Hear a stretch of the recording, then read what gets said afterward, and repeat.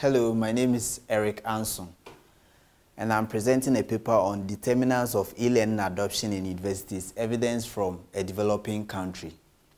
This research paper is co-authored by Sheena Lovia Boateng, Richard Boateng, and then John Effah. We are all from University of Ghana Business School, Accra, Ghana. So this presentation is going to take this form with the following outline. There's going to be an introduction, there will be a literature review, and then the research framework, the framework we used in conducting this research, and then the methodology, the method, and then the analysis of data, and then there will be a discussion, followed with a summary, conclusion, and then recommendation with references. So the introduction. E-learning is the new concept in educational delivery, the new concept in delivery of instructions between lecturers, between instructors, and then their students. So with the arrival of computer technology and the internet, the traditional mode of learning, the traditional mode of delivering instructions to students has evolved or has changed into a new form called electronic learning or e-learning. So e-learning is defined as instruction delivered on a digital device such as a computer, mobile device that is intended to support learning. So Tagoe, for instance, assessed that um, universities in developing countries have started adopting these electronic devices to support their teaching and learning. He also assessed that e-learning is yet to receive total adoption in the African context, including Ghana. So the review of literature indicated that e-learning is a concept which encompasses students, faculty, that is the lecturers or the instructors, and then the e-learning managers. The managers are the administrators behind these systems. But e-learning research papers indicated that um, indicated that most research papers deal with only one or two of these stakeholders. On the other hand, for total adoption to occur, to study adoption holistically, you have to look at three major factors, and these are the technological factors, the organizational factors, and then the environmental factors. On the other hand, the research e-learning literature reviewed tend to look at determinants of e-learning adoption mostly from a single factor approach. That means the researchers tend to look at only the environmental factors or the organizational factors or the technological factors without putting these three things together to study e-learning holistically. And there's a need, so going forward, there's a need for research into practical ways of integrating e-learning into universities in developing countries from a holistic point of view by taking into consideration all the categories of factors that influence e-learning adoption from a multidimensional perspective. That is taking the three major stakeholders of the e-learning systems and then the three major factors of adoption. In light of that, our research principally tried to answer this question. What are the factors that determine the adoption of e-learning in universities in developing countries with a focus on Ghana and then University of Ghana? The next session is the literature review, how we reviewed literature. This literature review took three things into consideration. It was intended to find the determinants of e-learning adoptions in universities with a focus on studies on developing countries. And then again, the review focused on e-learning stakeholders' perspectives of researchers. That is, where researchers focused in conducting e-learning researches. And then conceptual approaches in e-learning research. The theories and the frameworks researchers used. So the first point, the, the papers were synthesized and then the adoption determinants were pulled out. So there, there are papers there, the theories the papers used, the samples, and then the adoption determinants. There are perceived usefulness, perceived ease of use, system quality, perceived, and then a whole lot of other ones. So these propositions these factors are grouped into the three major determinants of e-learning adoption or three major determinants of adoption. And these are the technology, organization, and environmental. So the technological factors, we found out that there was perceived ease of use, there was IT infrastructure, and then e-learning aspects. On the organizational factors too, it was discovered that um, organizational compatibility, expected benefits or perceived usefulness, size of the institution, and then the human and financial resources were also the organizational factors that influenced people to adopt e-learning systems.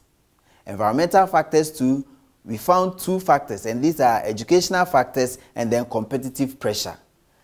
Above this, there was a, a fourth factor beyond the three factors, which are the technological, organizational, then, and then the environmental.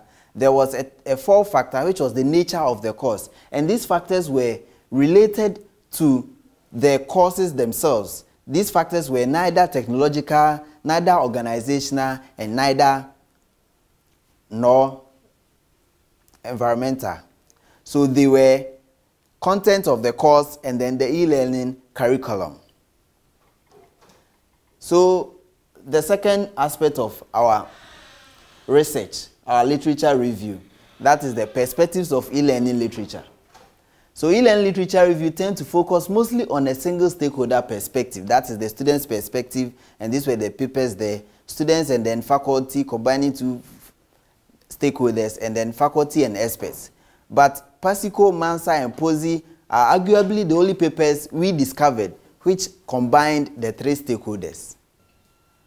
And then the literature review focused on the conceptual approaches in e-learning researches. That is the theories and then the frameworks researchers used in conducting e-learning adoption researches. So there was the TAM, Technology Adoption Model, the Grounded Theory, DeLone and McLean Model, and then there was the TAM3, and then IS Success Model, and a few of the, these are the few of the prominent IS theories people use to conduct e-learning researches.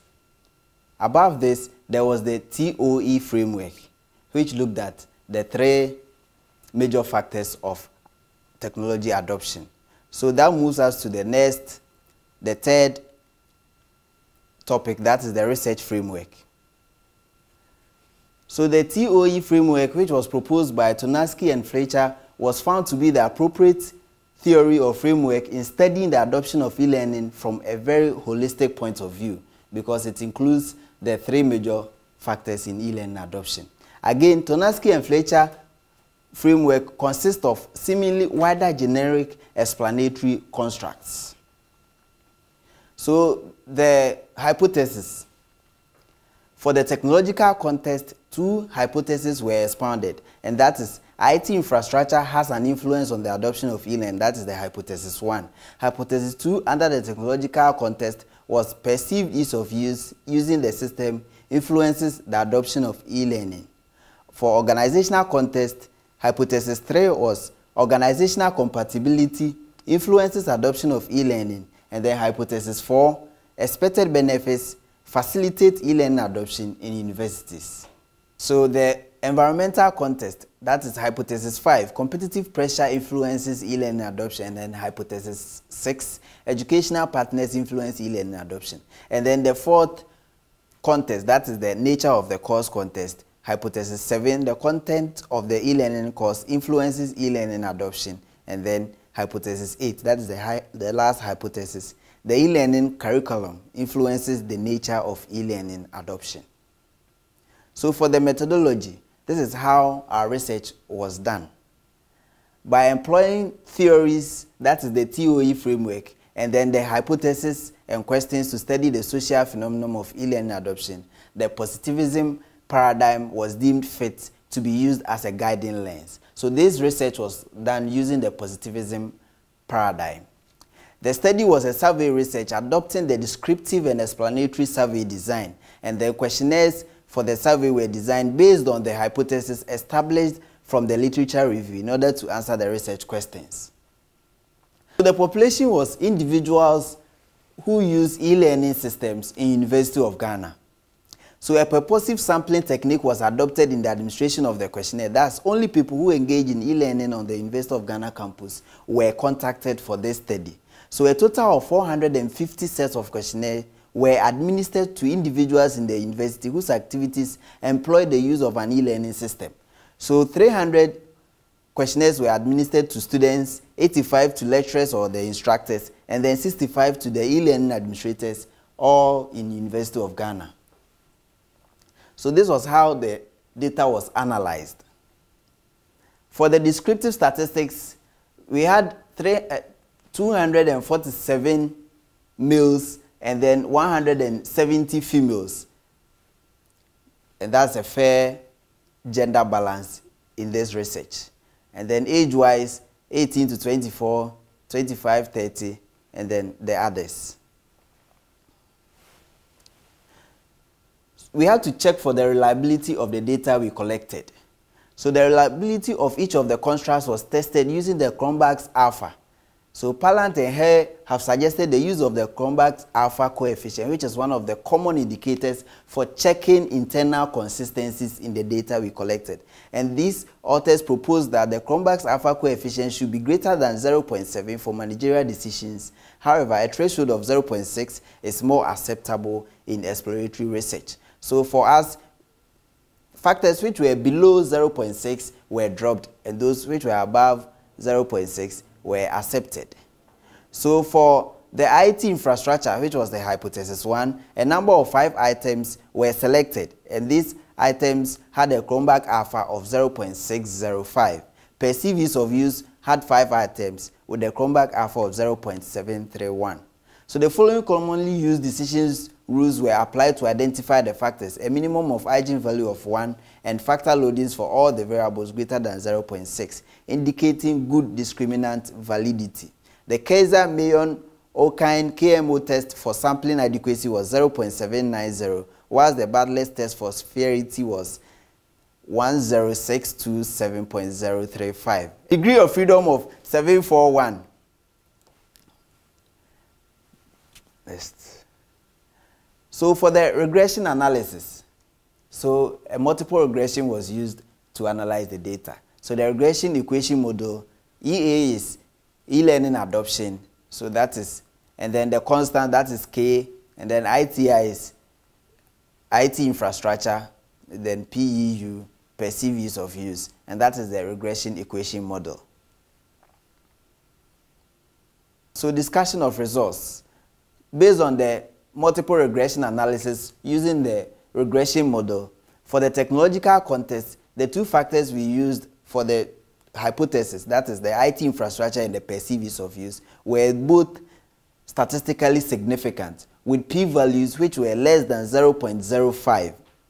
So IT infrastructure was seen to have a significant impact on the adoption of e-learning and this is in uniform to extant studies. So we had similar studies which also had IT infrastructure to be significant in e-learning adoption.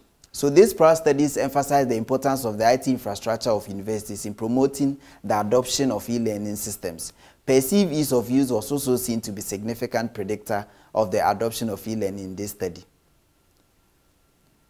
For organizational context, organizational compatibility also had a significant influence on e-learning adoption, and this was also supported by studies in literature. On the other hand, organizational compatibility had an inverse relationship with e-learning adoption. And this implies that a more complex organizational compatibility will lead to e-learning being less adopted. And this is also supported by Rauf Nassar and then Jassim. That is, the rate of e-learning adoption becomes less when the organization is more complex and vice versa. Perceived benefits, which is also an organizational context factor, was also statistically significant to e-learning adoption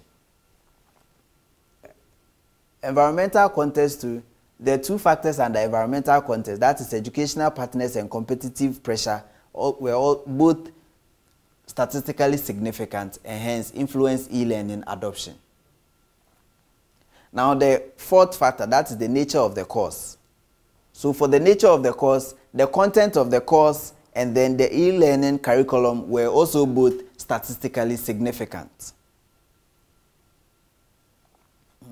So in summary, this study investigated the adoption of e-learning within a university in a developing country, specifically the determinants of e-learning adoption. A multiple regression was chosen among other techniques to test and validate the hypothesis proposed in relation to the eight factors and the dependent variable. The test indicated that all eight factors were statistically significant to e-learning adoption. Thus, their p-values were less than 0.05.